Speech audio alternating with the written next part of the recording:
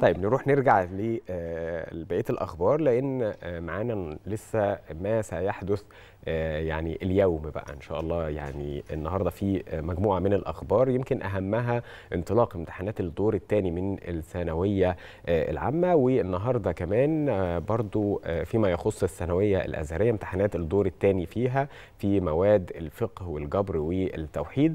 وكمان إطلاق معسكر قادة المستقبل في جامعة القاهرة وده ضمن مشروع بناء الإنسان وأخبار تانية بالتأكيد هنتابعها في هذا الرصد والتقرير.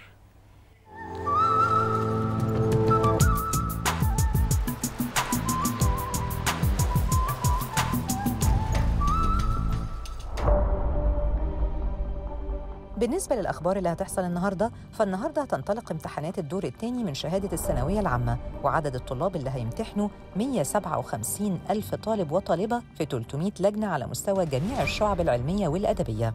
وهتمتحن الطلبة مواد اللغة العربية والتربية الدينية وهتستمر الامتحانات لحد يوم 30 أغسطس 2022 النهارده كمان هتنطلق امتحانات الدور الثاني لشهادة الثانوية الأزهرية واللي هتستمر لحد يوم 29 أغسطس. هيؤدي طلاب القسم العلمي الامتحان في مواد الفقه والجبر والهندسة الفراغية، وطلاب القسم الأدبي هيمتحنوا مواد الفقه والتوحيد.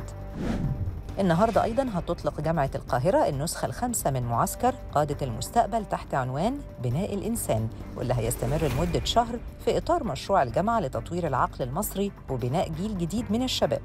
فعاليات المعسكر هيتم تنظيمها في قاعة الاحتفالات الكبرى وهيتضمن المعسكر أربع أفواج طلابية كل فوج 100 طالب وطالبة. لعشاق الدوري المصري الممتاز هيكونوا على موعد النهاردة مع مباراة قوية في إطار الجولة 31 من المسابقة. الاتحاد السكندري هيواجه البنك الأهلي الساعة 6:30 أما عشاق الدوري الإنجليزي فهيكون معادهم مع ست مباريات قوية في الجولة رقم 3 من المسابقة. أهمها لقاءات توتنهام مع وولفرهامبتون الساعة واحدة ونص الظهر وكريستال بالاس مع أستون فيلا الساعة 4 العصر والساعة 6 ونص بالليل أرسنال هيواجه بورنموث.